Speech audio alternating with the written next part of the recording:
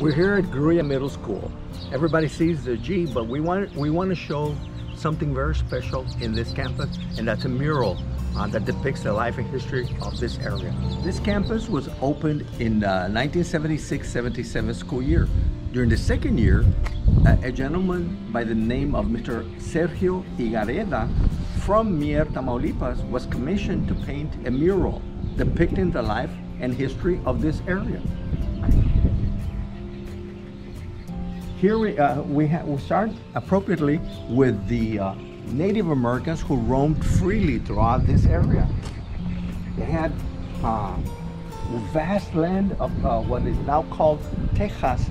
Tejas means friendly in the Caddoan language of the Indians. This is, uh, and so they had they had all this land for themselves. But shortly after that, in the 1500s, the colonization period started.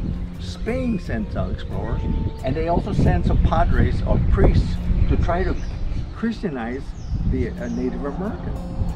And so, soon afterwards, we had other settlers who came from France, from Germany, and they came to, the, to, to look at the vast area, which is now called uh, Texas, but at the time was Tejas.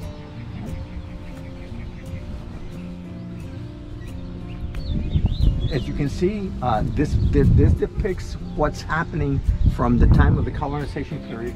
Uh, we had, uh, because it was wide open, uh, it, it, it, led up to a lot of ra uh, ranches which had cattle and horses and all kinds of animals uh, that the space was there for them. So, so we're here. So we had, had the settlers come in with that. As the, the area was growing, of course, then of course we were in competition with the United States, this area was still not part of the United States. The southwestern part of the United States was still part of Mexico.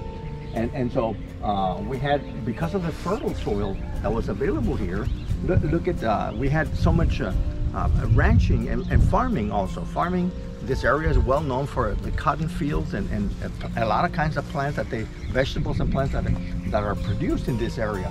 So that attracted more people coming over here. And little by little, of course, it was been uh, uh, uh, transformed into what is now Texas. Now, there's a lot of conflicts, there's a lot of battles, a lot of wars that were fought in this area. Uh, in fact, Texas is the only state that has had six different flags uh, flown over it.